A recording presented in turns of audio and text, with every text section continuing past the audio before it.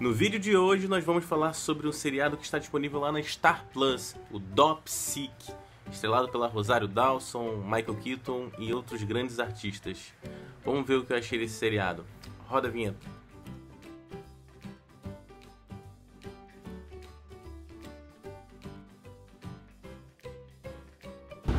A prova de quando a ganância não tem limites. Baseado num livro escrito por Beth Mace, Dopsic é um filme denúncia. Uma série denúncia, no caso, né?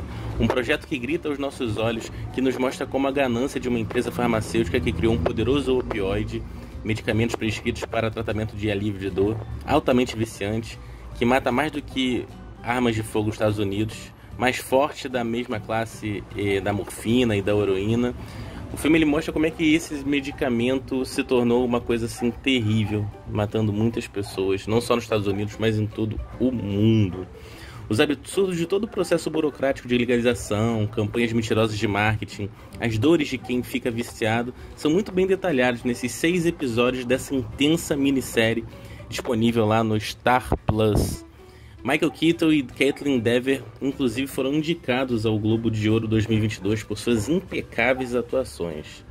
Na trama, que possui dinâmicas passagens de tempo, de tempo, acompanhamos o surgimento de um medicamento que impactaria negativamente a sociedade norte-americana, logo depois a mundial, o Oxycontin, e toda a vez de destruição em famílias do interior dos Estados Unidos que, buscando alívio para suas incansáveis dores, acabam entrando em uma dependência a esse fármaco, opioide analgésico potente, análogo semissintético da morfina, inclusive é duas vezes maior do que a mesma.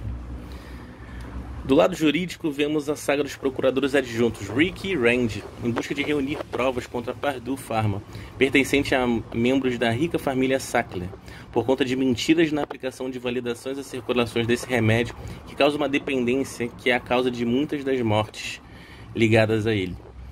Os doutores que eram convencidos pelos representantes de vendas da Purdue aqui são representados pelo Dr. Samuel, que é interpretado pelo Michael Keaton, um viúvo que praticamente é o único médico de uma cidadezinha.